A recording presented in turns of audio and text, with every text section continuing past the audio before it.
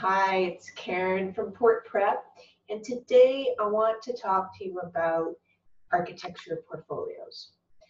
So I have a lot of students that are dreaming of going to Ryerson Architectural uh, Science, uh, Carleton Architecture, Waterloo.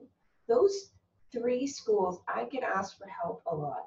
Now the advice I'm about to give you definitely is targeted to those schools, but this information would help anybody applying to an architecture program anywhere. Uh, but I'm going to focus on those schools because I get asked about those ones so much. Um, so first of all, they're, they're quite competitive, but you're going to have 1,000, 2,000 applicants each year applying. It varies. And the amount of spots they have is limited. Um, in some programs, it's 75. In others, I think it's about 126, something like that. Like the classes are pretty small. So that means it's really competitive. It's oftentimes uh, as competitive as getting into a school like Harvard. Um, you know, it, it doesn't have quite maybe that same prestige, but it's just as challenging. It means you have to have a high average, and you have to have some really creative, interesting work in your portfolio. Um, there's a few different ways that Ryerson versus Carleton or Waterloo evaluates their students. Um, and so if you're applying to a school that I'm not talking about, find out about those specific schools and what they tend to look for get that advice. Go to the college university tours talk to profs, reach out to the profs and the coordinators, reach out to other students that have been accepted, and try to get some insights. So here's a bit of a summary um, that I can tell you about with the schools that I work with a lot. Um, so now let's start with Waterloo. Waterloo is really well sought after, not just because the university is really um, really prestigious and, and well thought of among anybody that wants to study in the sciences, engineering, mathematics, um, and architecture as well. Um, so in a lot of the advice I'm going to give you for Waterloo, you can apply to Carleton and Ryerson or any other school as well. This is just specific to what I've learned about Waterloo. Um, so, and the best thing to do for Waterloo is to go to their open house events and any opportunity you can go and share with them and see what they're doing. Um, they do not really want their students to be coached per se um, in their portfolio. They really want to know who you are and that you did this work. So if you're going to reach out for any help at all, the help should be of the nature of just learning some skills. And when you're developing your creative ideas, whoever you're talking with as a mentor, whatever, please make sure you tell your mentor, I really just want you to, to maybe give me some input or push me to make stronger ideas of my own. Please don't beat me with ideas. I really got to find out who I am creatively and show that to Waterloo because the profs there are of the mind they can tell whether you've been coached or not. I don't know if that's true or not, but just to, to know that that's true. And if you are getting help from somebody, don't tell them you did, right? You, you want to just be yourself and show that. And so some of the things that Waterloo looks for and what's unique about Waterloo um, is that they have uh, several ways to look at an applicant. And the big thing they do that's different from the other schools is that they have a um, portfolio interview. So that's almost like a performance or an installation art um, project. So this is a great chance to shine. Um, so and people do all kinds of different things. So they really want to know who you are as a creative person. So that means you, if you play violin, uh, or sing or dance or any of those things or like to act or orate, you can bring that into your architecture portfolio interview um, and really show them who you are. Um, make a sculpture, make a, a light show, um, do something really inventive and with a little bit of sense performance, perhaps, if, if that's what you're good at. Now, don't be who you are not, be who you are. And so the next thing that whatever that presentation is going to be, you know, obviously you'll have your portfolio, you might have some kind of model or sculptural thing or demonstration or slideshow, whatever you're going to do to present to them um, visually. Uh, make sure you're well practiced when you do that. So do practice mock-up presentations to people you know and trust. So find some people in architecture, in education, uh, in design that that um, that you respect and that you could do this mock presentation to, maybe a teacher at school, um, but a couple of them, not just one, because they usually have about four professors um, in the room and you're going to present to them. Um, so now, as you're doing that, um, one of the things you want to convey to them is that you are a whole person, you are a worldly person. Um, like get outside of your town and look around out there. So I was talking to one of my recent students who got accepted into Ryerson architecture and he said he thought it really helped him that he kind of stopped for a bit and traveled and went to all kinds of different places where the culture and the way they built for their culture was very different in place to place. So that helped him really have a more worldly view and he got out of his city and his culture. So now if traveling isn't an option for you right now in your life, travel by watching shows, reading books, looking at magazines, going to different areas of your city that have different cultural components than what you're used to.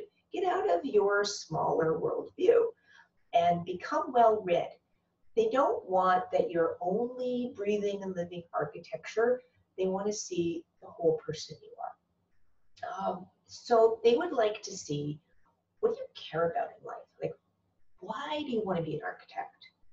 And what problems for society, for the planet, for people, um, or whatever area of design you think you might be interested in, show us some solutions that have ingenuity and that where you share you show you care, care about humanity, care about the earth, care about the issues that face us, um, and show us some solutions. So architects are problem solvers and for humanity and the planet whatever is facing us at a particular place and time or culture. So think about what that might be. And maybe design, maybe something architectural, maybe something furniture based, maybe something more um, display or performance based. Um, it's just something that looks at whatever the problem is that you want to show, shine a light on bring some awareness to. So maybe it's an architectural design. And then it would be good to build a model of some kind. It would be good to do some concept sketches of why that matters to you. What are some of your ideas, your thought process? Show us some perspective sketches and drawings. And you know what's really great? If you can take that project and explore those ideas as a theme in your portfolio, or at least a section of your portfolio. So that could mean maybe there's something you really care about in society and you want to shine a light on it. So you could take a bunch of photographs, your own photographs, and um, show us, bring us into the emotion of this problem. Show it to us like a photojournalistic essay, or make a painting about it, or sculpture, or a collage. Um, and while you're making those pieces, really push yourself to be very artistic creative, expressive, and get outside of just being like a controlled designer type. Show them a bit of your creative and emotional self. Um, so now, if you do that for Waterloo, you can equally take that same idea, that same realm, and apply that to Ryerson or Carleton. Uh, or any other architecture school you want to apply to. Um, now, when it comes to, say, Ryerson, um, they would like, they're, they're fairly open-ended. You can read their, their portfolio requirements. They're going to want to see a range of skills. All the schools are going to want to see a range of skills. Like you know how to draw, say, from life. Uh, so learn how to draw. If you don't know how to draw, learn how to draw at least a little bit of what you see. Study mostly like geometric objects. You know, how do I draw a cylinder? How do I draw a cube? Um, how do I draw a cone? These are the building blocks of structure. And if you can draw just small, simple objects, you know, like I've got this, this candle here, if you can understand how to draw that and this truncated part here versus the, the flat bottom and the round of this, um, you know, that helps you be able to design and draw your ideas out of your imagination if you understand how to draw structure. So, um, so take some still life drawing courses or something and learn how to draw. Include some sketches um, of geometric type objects, maybe a still life, but don't just throw random objects together and have it not mean anything. Whenever you draw anything, express an emotion, an idea, hint at a story. These objects belong to a place and a time and a person and, and some kind of problem. Like, like um, another great art, art prof, Clara Liu from RISD, Rhode Island School of Art and Design, she said, I don't care how well you can draw the pine cone. She just picked a random thing, pine cone. You know, it, it could be like exceptionally wonderful and, and exact, you know, but she doesn't care. She wants to know what you feel about the pine cone. What do you think about the pine cone? Show us something. Make us look in a different way. We're not cameras. We're people. We have ideas. We have emotions, right? And we can make our viewers feel something and think something.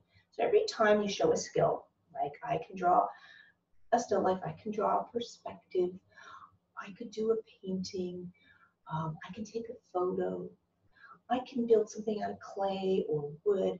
Anytime you're making something and showing a skill, and we want those skills, we want to see that you can draw from vision, that you understand perspective, that you understand design and color and the um, the two-dimensional design surface, like something graphic-based or photographic, uh, right? Show us that you have all that range of skill, um, but always have that skill be in the service of an idea.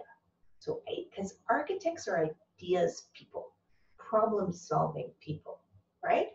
So that's what you want to show in everything you do. Don't just show us some random perspective. Try to show us something with a bit of meaning uh, or feeling. Okay, so um, so for Ryerson, you know, like I was going to say, they, they want that range of skills.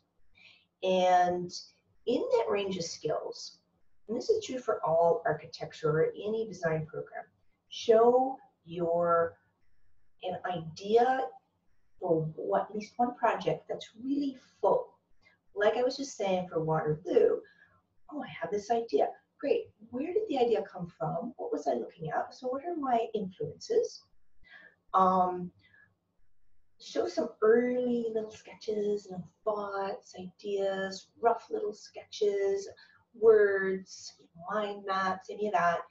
Um, show us an evolution, like you've done a few thumbnail sketches, like small sketches, and then you've taken your favorite idea and you've developed it and you've sketched it a few times and make what's called concept sketch or concept board.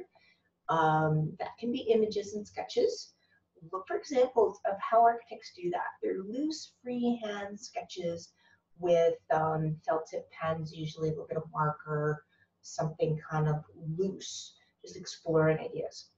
Then you would take one of those ideas and say, now let's let's work that out some more.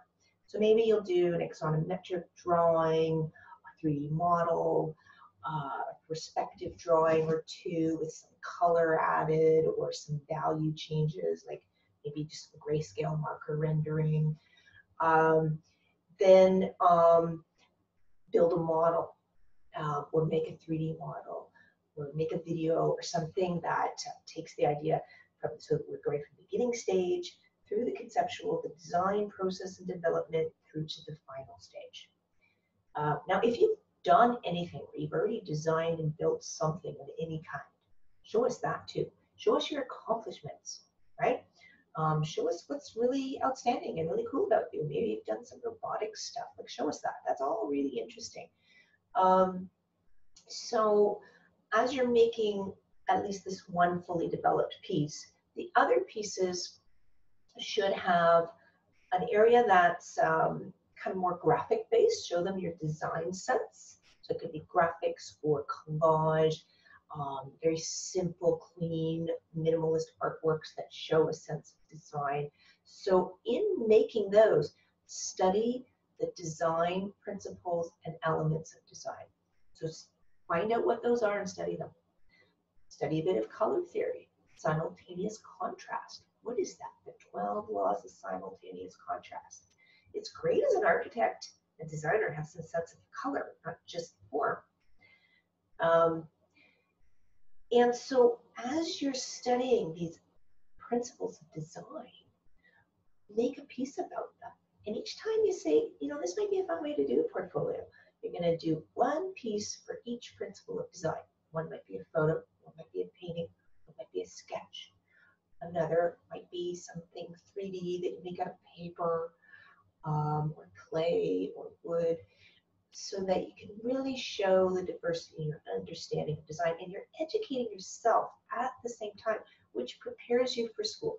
Because basically, your portfolio is showing them not just that you're a problem solver, not just that you have the skills, um, and not just that you have the ideas. Like all of that is showing that you are ready to be educated in their program. So you need to get yourself ready, which means you need to learn how to draw in various ways. You need to learn how to think through the design process. What is that? How do you do that? How do you come up with a good idea? How do you evolve an idea? How do you refine an idea? And how do you present the idea? You need to find the training for all those steps and aspects of design and showing a design. So that means that you're going to need to find some education to get you to that place. That's one of the things I want to talk to you about today. I want to finish talking about each school, though, that I tend to help people with. So Ryerson, like we are saying, you're going to show those range of skills. You're going to do that for any architecture program. The other thing that you have to do for Ryerson is you're going to be doing a sketch test and a home creativity test. And the sketch test will vary every year it usually has something to do with draw something from vision um, and then change it, manipulate it somehow. Or here's one angle of view of this thing, whatever it is, I'll show you a photograph. Now draw it from the inside, or here's the inside view, draw it from the outside. Um, here's this point of view, draw it from down below. Now do some design change to it it tends to be things like that. It's different every year. So you don't know until they post what it's going to be, or when you apply, you'll find out. So that's something to practice for. And so obviously you're going to be learning different ways to draw, developing your spatial awareness, and practicing that kind of thing. Now I have ways to help people prepare that. I have like a little uh, sort of, I don't know, like a mock test for Ryerson that helps you practice drawing from different points of view to test your spatial awareness. Um, the other thing you have to do is this creativity test, which in the last couple of years is a relatively new thing they've started. I really love it. I think it's a brilliant idea that they're doing this. They tell you to have an 11 by 17 tabloid piece of paper, and you have to manipulate that piece of paper to become some kind of 3D form. And you can do whatever you want representational, sculptural, architectural, design-based, anything, anything. You decide. And you can tape and you can fold and you can glue and you can paper clip, um, whatever you want. Um, so but I really recommend that you play a lot with that before you bring it, and you bring the 3D thing with you. That's an important thing to, to note. It's not photographs of it, you're bringing the actual thing.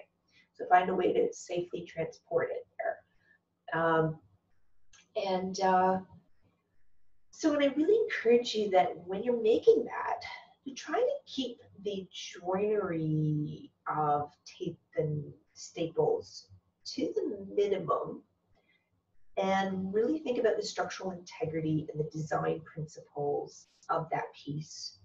Um, have the way it's attached be really purposeful and part of the design, not just this afterthought. Really show that you're a designer. So if you're going to use paper clips, you know, maybe use them in a clever way, you know. Um, but remember, the paper is the star. And if you could make it obvious that it's paper going through a process of different sorts, like think about all the ways you can manipulate paper to become 3D form. Okay, so that's something to have fun with. Um, now, next thing, let's move on to Carleton. Carleton is an exciting school to apply for. It's in Ottawa, beautiful city, excellent program, um, and it's really creative. And something I love about what they do, and I highly recommend, even if you don't feel like moving to Ottawa and you don't really want to go to Carleton, no, it's an excellent school, and I encourage you to consider it. Um, you know, it's a great idea to, to take what they're asking for either this academic year or in past academic years and use them as a jumping off point. So Carleton will each year, you know, they want to see the range of skills, just like any school, and you can put whatever stuff you want in your portfolio as your free choice pieces. And they ask for four creativity prompts. And they're always so interesting. Um, like one year they were asking themes about what does it mean to draw? What does it mean to, I think it was make an image? Um, another year, um, oh, they were so cool. They're so philosophical. Uh, they said, oh, make a piece. This could be absolutely anything you want, any piece. Like, like painting or sculpture or architectural design, absolutely anything you want. Um, and so the uh, one of the prompts was make a piece about how the line became a space. Another cool one. The space that inhabits the space between what would you make for that? Just think about that, right? Um, so they're always really interesting things. And what you can find is that those creativity prompts for Carleton, you might say, hey, that's kind of cool. I made this neat piece, but that gives me an idea for something I could do for Waterloo in this bigger, bolder, you know, performance-based or installation-based way or something. Uh, so you can let the ideas from Carleton that really push you to be creative and philosophical and say, what could you do in your Ryerson portfolio with that or Waterloo or whatever other schools you're applying for. Um, and uh, so I highly recommend you, you just look at those and just try them on anyway, uh, just because they make you think and push you to go way farther than you ever imagined you would. I've seen some incredible things that students come up with because of Carleton's creativity prompts. Um, so I think that's most of my advice as far as, you know, in general about those schools and architecture portfolios.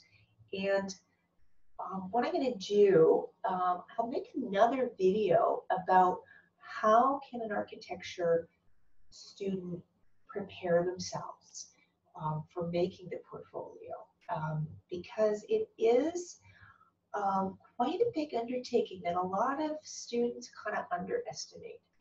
Uh, every student I know said it's so stressful, it's so much work. It takes months to do a really good portfolio. And it can cost a bit of money too. It really depends on how you do it and who you are and what resources you have around you. But you know, you do have to be prepared to take this very seriously. No matter how talented you are, it's still a significant amount of work, and you've got to get the learning one way or another. So that's something I'm going to post for um, and give you some ideas about um, in within I think the next week. Uh, I'll make sure that you have some advice about that. But just before I go, if you're kind of concerned saying, oh, that all sounds cool, but I don't know how to do that. Um, if you want some help, reach out to me at Port Prep. We give free portfolio assessments. You might want to get one this summer to help you kind of prepare for next fall when you're going to really start working on it. Um, but you also might want to sign up for our architecture and design summer camp. It starts um, August 7th. It runs for two weeks. And um, I walk the students through sort of the design drawing and the design thinking process um, and how to draw that and how to build things three dimensionally and just some general advice about portfolios. We get to talk to students who've made portfolios before and got accepted, really get some great insights. Um, so there's lots of ways to learn. We'll talk more about the education path another time. And so thanks for tuning in. If you have questions, I want to know what they are. Please make a comment below, and I will do my best to um, to answer you and get back to you. Um, you can email me as well, either off the website portprep.com, um, or you can reach out to me on Gmail. And I'm at portprep1 at gmail.com. Email me your questions, things you're wondering about. I want to answer your questions. And your question is going to be somebody else's question. So please don't be shy. You got to use whatever resources there are to motivate you and encourage you and teach you the skills you need to develop your ideas and your vision for the future of humanity the way we live. Okay, so good luck to you uh, I believe in you. And you know what? Frankly, our earth needs new problem solvers with everything that's going on. We need you guys to apply and start making, building the world in a better way. Bye for now. I'm Karen at Port Prep.